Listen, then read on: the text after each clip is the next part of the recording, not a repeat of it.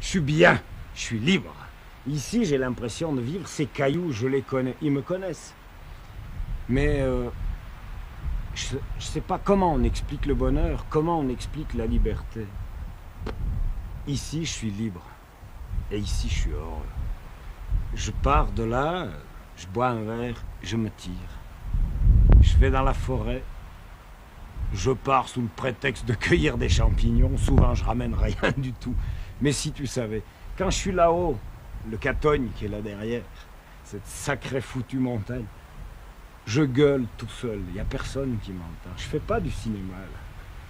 Je suis tout seul, je hurle. Il y a des moments où je gueule. C'est beau C'est vrai, c'est beau. Je te jure, ça me fout les larmes aux yeux. Je suis heureux. Il faut vivre avec la terre, il faut vivre avec l'eau. En ville, on est isolé complètement de la terre. On, on touche que du béton, on touche que du bitume. On n'a plus aucun contact avec la terre. On a des semelles en plastique, des manteaux en plastique. Euh, on transpire dedans comme des bœufs. Mais c'est même pas de la bonne transpiration parce qu'elle reste, elle ne s'évapore pas. Ce que tu bois, tu peux boire tant que tu veux si tu le transpires, mais sainement, en bossant, en suant. En t'amusant d'ailleurs, parce qu'on peut suer en s'amusant. Il faudrait demander une fois aux gens, à tous ceux qui vivent en pleine ville, d'aller s'étendre dans l'herbe sous un arbre, de regarder que le ciel et les oiseaux éventuels qui passeront, mais de s'abandonner pour respirer avec la terre et la sentir. Et ils verront, ils rechargeront leur batterie là, pour de bon. C'est pas dans les boîtes de nuit, c'est pas à coup de whisky ou de drogue qu'on recharge ses batteries, c'est pas vrai. Va sortir la merde chez le paysan d'en face, là tu participes et là tu te recharges les batteries. C'est pas en, en noyant son chagrin dans le whisky que. Me revoici dans mes montagnes, enfin libre comme un chevrier.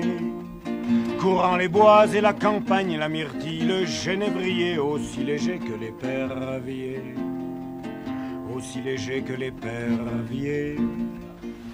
C'est que dès, dès l'école, on, on éduque les gens à être de bons citoyens qui renacleront pas trop et qui gueuleront pas trop.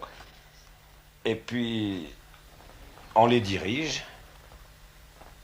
Mais vivre, c'est pas bosser comme un dingue, dodo, métro, comment ils disent déjà là-bas à Paris, je me rappelle plus, métro, boulot, euh, dodo, oui. C'est pas vrai, ça, c'est pas vivre. Ça, c'est être esclave.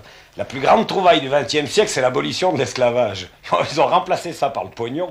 Putain de Dieu, c'est bien mieux. Hein. Les gars, ils peuvent plus bouger.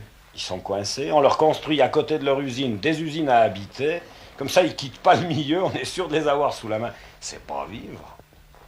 Or, moi, j'ai qu'une vie. Ce qui m'importe, c'est de la vivre.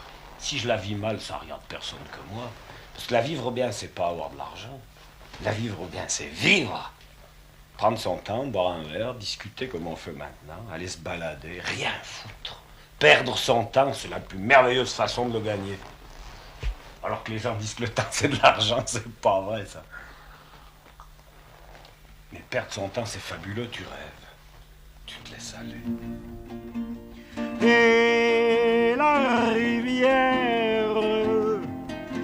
Dans mes doigts et la fougère coule sous mon poids.